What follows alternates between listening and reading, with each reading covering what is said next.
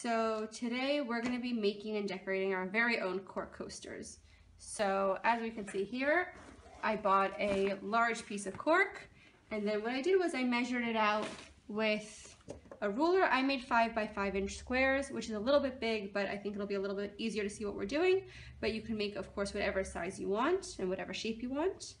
And what we're gonna be doing today is we're gonna be decorating them and we're gonna make a set of four, uh, four coasters with the same colors but slightly different design. So what we're gonna do is we're going to take some washi tape and we're going to make lines across the cork. We're gonna stick it on like so and make sure it's stuck on really, really well so that no paint will seep under.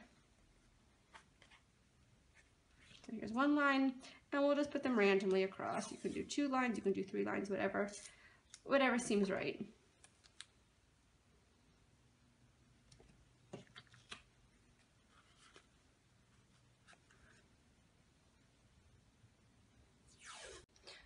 Okay, so fast forward a bit, I finished up uh, the washi tape. Now the washi tape has um, two purposes. One thing, it gives us nice, clean, straight lines. And for another thing, at the very end, we're gonna take off the washi tape and what it'll leave is stripes of cork, which will give us the natural feeling that we wanna keep with our cork coasters.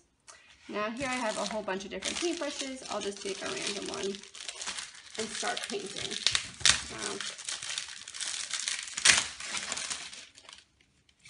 I pretty big areas, so I guess I could take the big ones.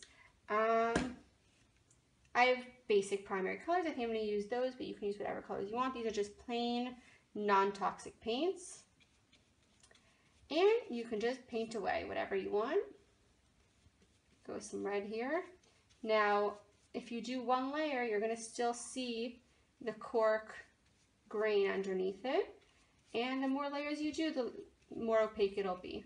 But that's each person in their own style and what they want to do. I do recommend when you paint, painting from the washi tape towards the cork so it doesn't um, seep under as much. So I'm just going to take um, one square on each one area on each cork board. Thankfully these are washable paints, so I don't have to worry about my table. Hopefully that'll come right off at the end. And just like so.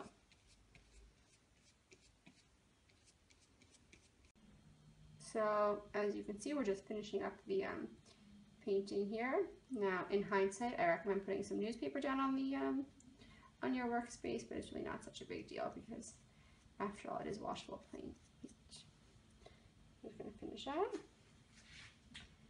Yellow.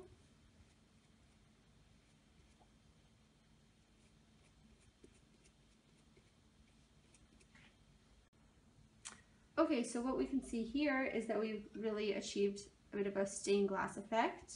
Now, right now we have to wait for them to dry for a few minutes. Um, it shouldn't take too long because it's a pretty thin layer. I wanted to be able to see the cork grain underneath it. Um, but I think even though it's still a bit wet, I think we can already start taking it off. So just so we can see how it looks. So as you can see, we're gonna rip this off. There's one.